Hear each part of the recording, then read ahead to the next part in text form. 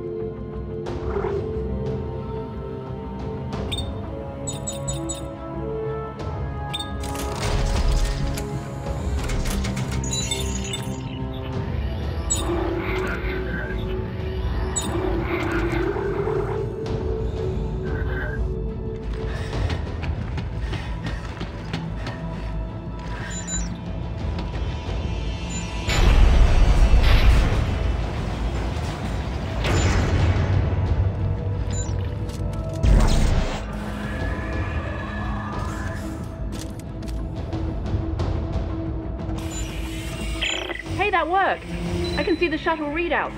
Okay, hang on. I'm gonna try and start her up.